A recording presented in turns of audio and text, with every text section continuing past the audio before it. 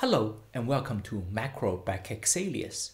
Some in the media compares the implosion of FTX to the collapse of Lehman Brothers, but there is a better analogy.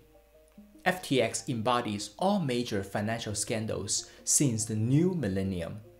FTX is Lehman Brothers, but it is also MF Global, it is Enron, and it is Theranos. Therefore, it's not surprising to see losses spreading beyond crypto, for BlackRock, Sequoia, and major asset managers have lost billions investing in a company that does not have a functional accounting department. This transmits losses to ordinary investors across the globe. And, in a way, FTX is the end of the beginning, for its financiers have survived to fight another day. And they will seek out another messiah figure who follow the footsteps of Sam Bankman Fried. As recently as October, the halo around Sam Bankman Fried was so overwhelming that BlackRock, Sequoia, Temasek, SoftBank, Tiger Global, and other institutional investors did not raise red flags on FTX. After its implosion, the new liquidation overseer announced the firm did not have an accounting department nor a complete roster of employees. Enron cooked its books, but FTX did not even have a complete book to cook. The overseer added that the firm did not maintain an accurate list of bank accounts, so much for due diligence. The institutional investors' curious blindness was also evident with Theranos when Elizabeth Holmes leveraged former Secretary of State George Shultz's credential to win over Marine General James Mattis and former Secretary of State Henry Kissinger, they became Theranos board members and elevated its brand. Their presence was enough to convince additional investors, such as Fortress Investment Group, to pour money into Theranos given Tiger Global used Bain to conduct due diligence on FTX. It implied entrenched groupthink among institutions. While firms advocate for diversity, few are committed to intellectual diversity. In FTX and Theranos, the investors saw what they expected to see. A wunderkind featured by the World Economic Forum who's destined to become the next Warren Buffett. When they saw FTX, their mind automatically reconstructed a mirage in the form of Berkshire Hathaway.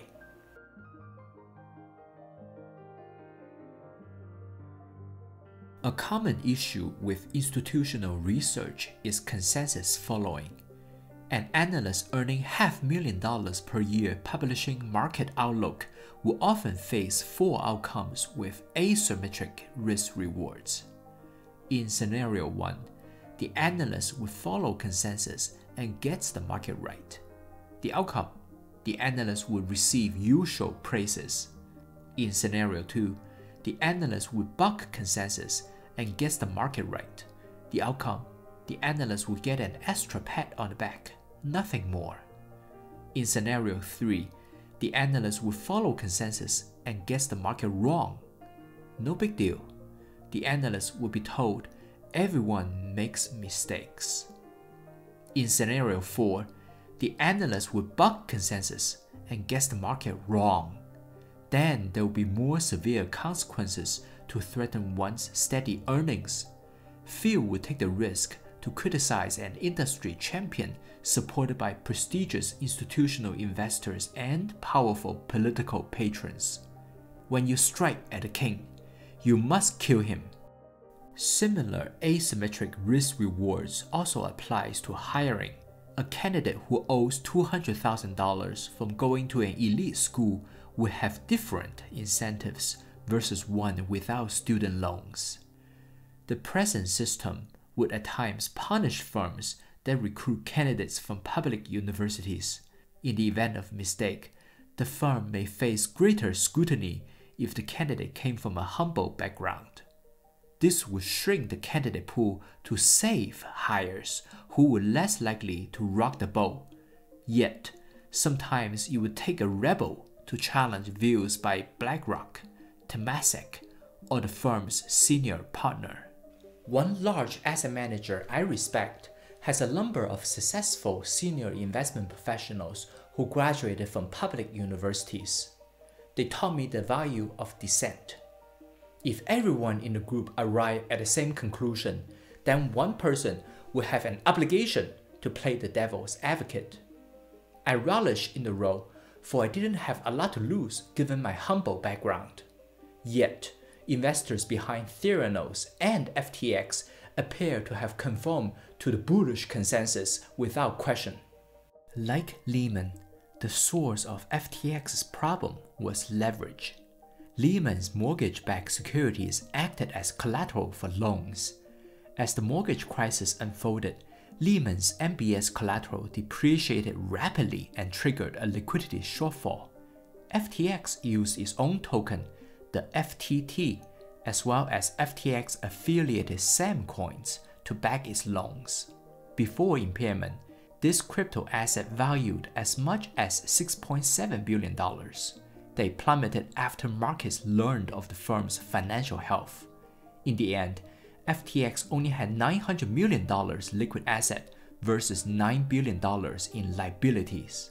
In Lehman's case, Bank of America was unwilling to touch the firm's toxic assets without official backing, and Binance abandoned its offer to acquire FTX after describing Latter's book as a confusing mess. Finally, both FTX and Lehman imploded following the Fed's monetary policy tightening. Liquidity drain and heightened volatility made it difficult to hide losses even if investors failed at rudimentary due diligence. In the MF Global scandal, the firm used a legal process known as rehypothecation to reuse client collaterals for its own trades. The firm had accumulated 6.3 billion of exposures in Italian, Portuguese, Irish, and Spanish bonds just as the European sovereign bond crisis worsened. As losses mount, MF Global lost its clients' collaterals after its own trades blew up. As clients rushed to pull money out, MF Global became insolvent. FTX and Alameda shared a strong financial connection.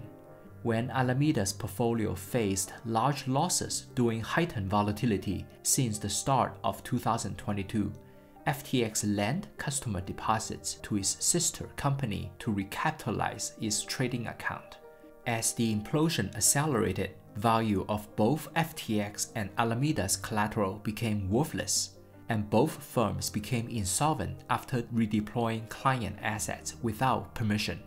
The collapse of FTX combined the worst elements of Lehman Brothers, MF Global, Enron, and Theranos. Thanks to a perfect storm of global monetary policy tightening, high volatility exposed wrongdoing and punished the imprudent. Had the Fed been easing and releasing liquidity into the financial market, FTX and Alameda would have remained as icons of innovation and philanthropy, and their investors would be held as champions for investing in a company that does not maintain a full list of its bank accounts. Thank you for watching, and I'll see you at the next episode. Thanks to our wonderful institutional clients and supporters like you for making this video possible.